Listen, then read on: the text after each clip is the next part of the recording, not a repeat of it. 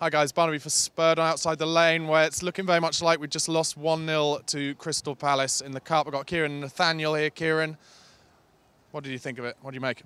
Uh, first half, I thought we was pretty on top. To be honest, I thought we could have gone up two 0 or, or, whatever. But um, obviously they scored. I didn't actually see the goals in the toilet. But, um, um, but thanks for that. Yeah. Appreciate it. Sorry. Um, but anyway, um, second half, we just had nothing about us. I didn't think it was slow.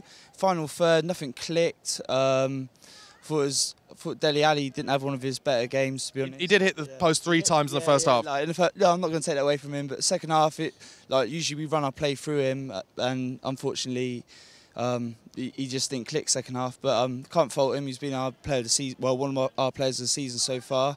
But um, it's a cup exit. Um, maybe just concentrate on the league.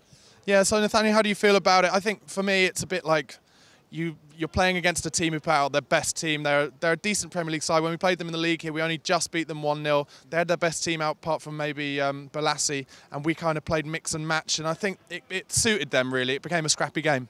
We just didn't do enough in the final third. We are too slow. We need to. We need something that's gonna. Someone's gonna bring energy in that final third. That's gonna do something. That's gonna make people think. All right, cool. We need to worry about this guy. There's no one there today that was on form, I reckon, today. Dele Alli was obviously first half. I personally reckon he should have had two. Um, I thought the second one where it hit the post was in. Um, obviously, Cabaye was on the line. I think it was in the first one. Um, but I mean, it's just I don't know. There was nothing. There wasn't some, anything about us today. Um, and like you say, yeah, there was too many changes, and it, like, it does play into their hands. If they've got a squad that, that where they know they're starting eleven, and they're used to playing with each other, and then we make five or six, seven changes, however many it was today, it's it's it's not going to be able to you're not going to be able to click straight away, and that that's where I think obviously we we made made it uh, mistakes. But Bentaleb for me today was shocking. Yeah. Um, that's that that's the one player for me that I thought, all right, cool. It's good to see him back in the squad. Yeah, Hopefully, he does something. It's his chance to obviously assert himself and prove why he should be even thought about in the starting 11 over Dembele or, or Dier.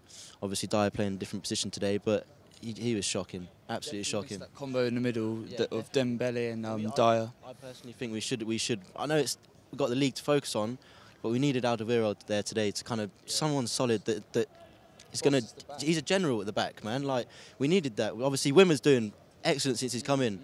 but those two together, maybe obviously they don't have that understanding that the, the other three centre backs do. So I, I, don't know. Okay, and just uh, one one word answers. Will we turn Fiorentina over, get to the next round of the Europa League on Thursday, next match? I'm confident. I reckon 2 0. All right, guys, you heard it here first. Uh, let us know what you thought their comments in the comment section below. Don't forget to subscribe to the channel on YouTube. Follow us on Twitter at Spurred on TV. Cheers, guys.